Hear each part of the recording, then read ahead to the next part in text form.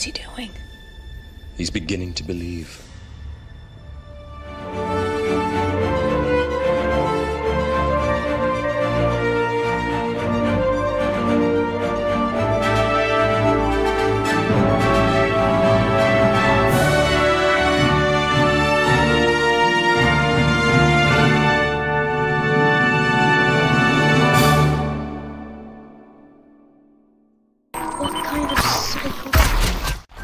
Oh, behind you!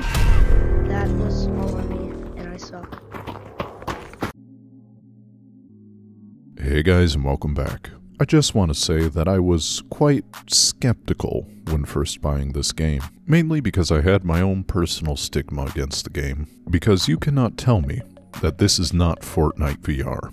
And at first glance, this is true. We got bootleg chug jug, kids cranking 90s, Cranking 90s time! It's, it's, time, it's time to some 90s! Hey! cosmetic skins, and it's free to play. Well, at least for Oculus. But there is one thing, one crucial detail about this game that separates it far and above other VR shooters. And that simple thing? The ability to go wherever you want, whenever you want, however you want. The movement in this game not only makes it one of the most fun VR shooters I have ever played, but it honestly creates a skill ceiling so goddamn high I can't see the top of it. You would be a fool to think that this game is merely curated towards children. It's deceptive with its cartoonish like aesthetics and relatively simple gunplay. But underneath this childish guise lies a leviathan waiting under the waters. And there's many reasons for this, but I'll break it down into some smaller parts, that way we can get a full picture of what's actually going on in this game.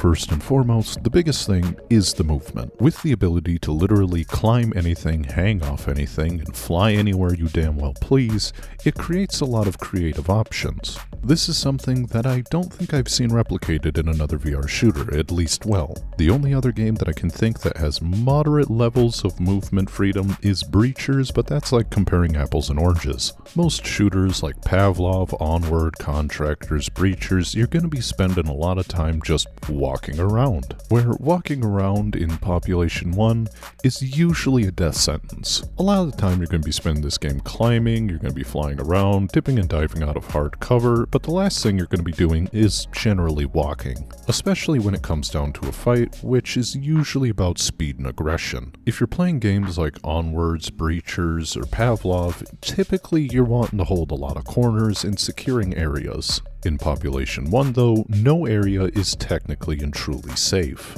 The whole area is the battlefield, and you're only limited by your creativity and your ability to use the environment around you, which makes Population 1 combat actually one of the best that I've ever played because it's almost more based upon your imagination than it is your skill, although you're definitely still going to need to hit your shots. Going into a fight, you have pretty much unlimited potential to take it however you want. You want to go straight in? You can do that. You want to go off to the side and fly from some high ground to try and pick them off? You can do that. And what's great, no matter your playstyle, whether that be you up on the front lines outmaneuvering the enemies, or just sitting in the back with an op picking them off, there's a weapon to match your playstyle. You have a five blend melody to choose from. You have your pistols, your shotguns, your assault rifles, snipers, and your util.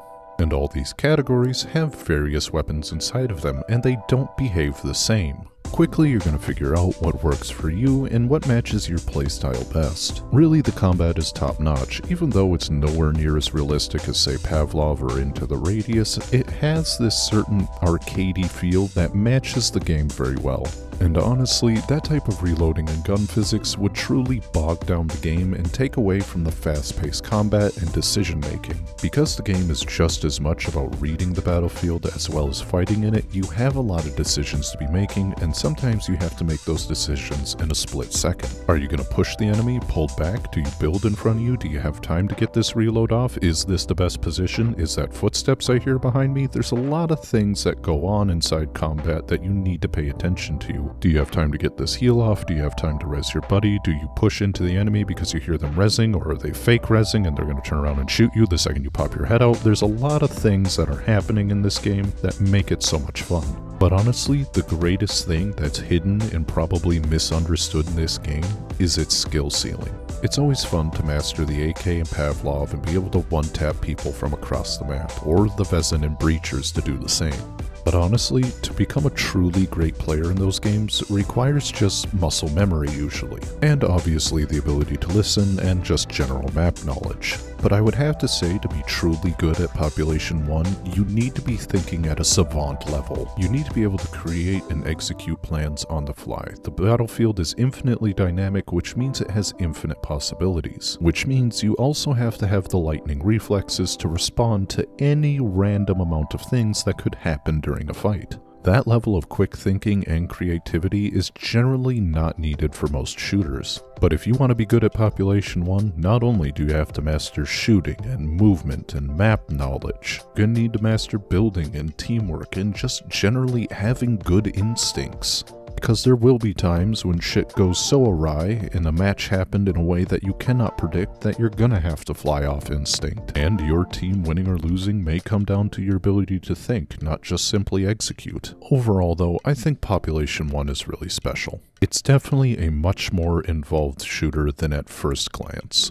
Of course, you can always just simply play for fun with your buddies, but if you ever wanted a game where you truly wanted to test the skill ceiling, this is it. The game is free for Oculus players, so there's no reason why you shouldn't have it. For the rest of us though, if you've been looking for a shooter that you can truly evolve in, I would highly recommend this. But hey guys, I've been rambling on long enough. Take care, and I'll see you later.